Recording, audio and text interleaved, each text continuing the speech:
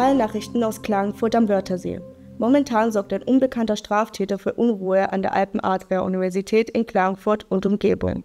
Das Institut ist im Laufe der letzten Wochen Opfer mehrerer Anschläge geworden. Bislang liegen noch keine weiteren Details über die Identität und das Motiv des Täters vor. Zeugen und Verdächtige werden bereits befragt.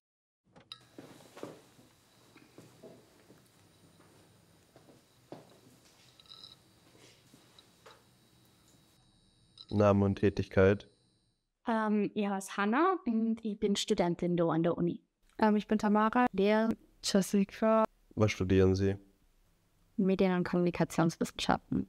Irgendwas mit Medien. Wissen Sie, warum Sie hier sind? Gar nicht. Nee. So. Nein. Warum sind Sie an dieser Uni? Äh, Weil die Uni Medien- und Kommunikationswissenschaftler hat und ich in- aus Klagenfurt bin. Der See, eindeutig der Wörthersee, der ist ein paar Minuten von der Uni entfernt. die Uni ist äh, ziemlich tierfreundlich. Eigentlich die ganzen Sachen, was ich studieren wollte, das gibt es in der Art und Weise leider in Klagenfurt.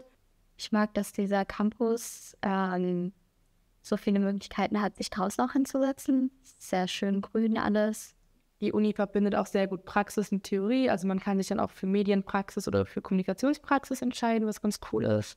Es ist schön, dass man die Leute hier kennt. Es ist nicht so groß. Man ist irgendwie nicht nur so eine Nummer. Ansonsten bietet die Uni auch recht viel drumherum an, ganz viele Sportangebote. Und ich finde es einfach besser wie Salzburg oder Wien. Deswegen bin ich her. Waren Sie schon mal Zeuge einer dieser Straftaten?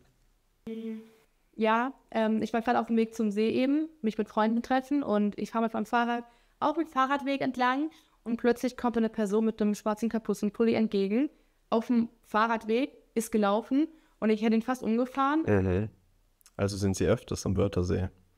Ja, doch, voll. Also das ist einfach der Ort hier, wo sich eigentlich jeder trifft und wo man einfach hingeht. Als Schönes. Waren Sie schon mal Zeuge einer Straftat? Ja, jetzt, wenn ich meinen Hazelnut Cappuccino geholt habe in der, äh, in der Aula, sind mich so ein Dude daherkommen mit so einem Kapuzenpulli und der hat vor mir einen Cappuccino geholt und hat einfach seinen Becher einfach so auf den Boden geworfen, so was soll das, leider neben mir stand Müll. Also holen Sie sich öfters einen Kaffee bei den Automaten? Können Sie sich das überhaupt leisten? Safe. Und auch wenn ich mir es nicht leisten könnt ihr das trotzdem holen, weil der ist einfach wert. Vielen Dank für Ihre Kooperation. Das wäre soweit alles.